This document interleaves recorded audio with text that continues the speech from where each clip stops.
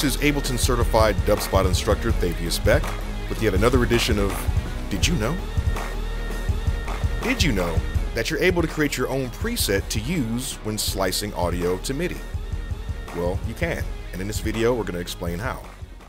First things first though, I want you to concentrate on these three shortcut folders here. Uh, I have selected my first one here, and as we can see, this has taken me to Live's library. All right. If you don't have one of these folders set to Live's library, I'd like you to do so now, which you can easily do by just selecting one of the folders, clicking this gray bar up here, and then library should be one of the big options for you to select, and that'll take you to Live's library. The reason why this is important is because when we create our preset, it's going to be saved in the following location. Live's library, defaults, slicing.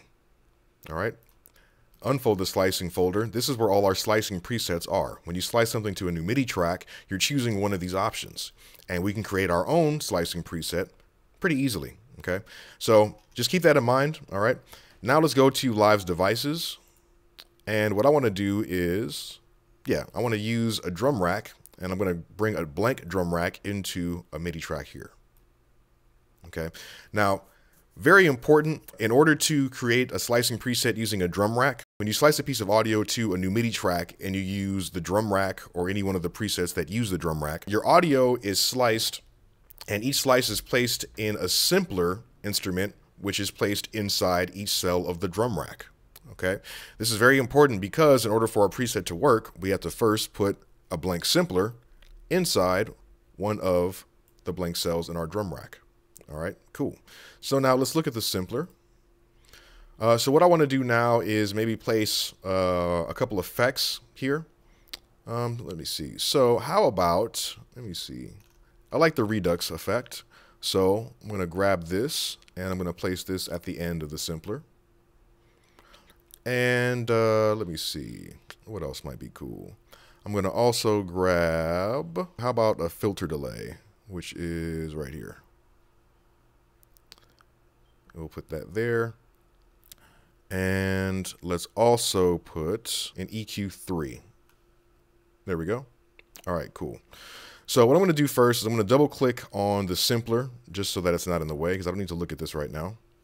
All right, let's go here. Okay, so what I want to do is I want to assign some of these to my macro knobs. So let me hit this button so I can see my macro knobs. I'm going to enter my map mode here and now I can start assigning some of these parameters to my macro knobs. All right. And what this is going to do is make sure that every time uh, I slice something and I use this preset, that I can change the parameters for these different effects and it will affect all my slices. All right. So let me see. First thing I want to do is let's assign the down sample in my Redux to this knob here. Uh, let me see. And let me see. How about the bit reduction as well? We'll assign here. Uh, let me see. The dry volume, I'm going to assign that to this. And the volume of all of these, I'm going to assign to this.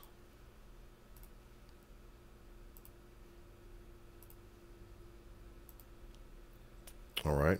So I can control the dry volume here and the wet volume here, basically. And then the EQ3, what I want to do is be able to control the bass volume and then also be able to get rid of the mids and highs as well. All right, so now we have all this assigned, okay? So now what we want to do is you want to save this, all right? So we're going to go and click this disk icon here on our drum rack.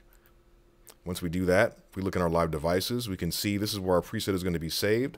So we're going to call this Redux Delay Slice Fave. There we go, and we'll save it. So now what we have to do is we have to move this preset into the proper location, which is here in the slicing folder. So how do we do that? Well, we can just go back to our live devices, click on this, click and hold, hover over that folder, the number one, and just drop it in here into the slicing folder. And there we go. So how do we know if this actually worked? Well, let's grab a piece of audio and slice it now, okay? I'm gonna go to my trusty Gorilla Funk Breaks folder here.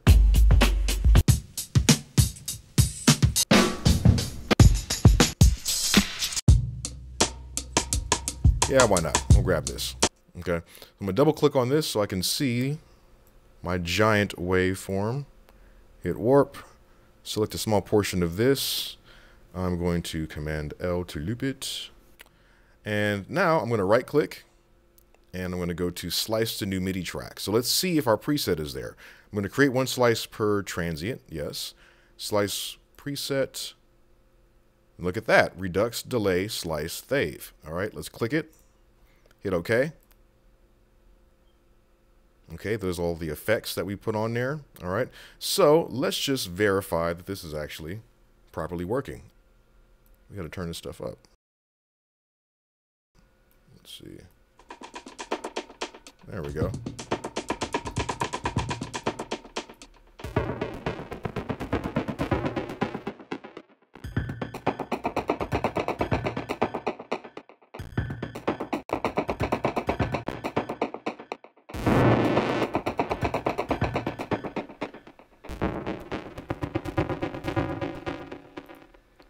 Okay, so I could take some time to actually make a good drum beat out of that, but the point is, is that we've made our own slicing preset. And now anytime we want to slice some audio, we can always bring up this preset.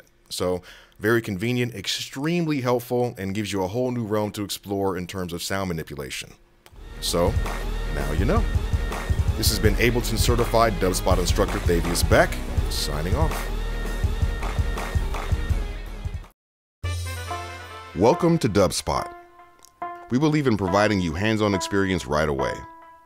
Whether you're completely new to music and want to turn the sounds in your head into a musical reality, or you're an experienced artist looking to refine your skills and add new tools to your arsenal, we're ready to meet you at your level.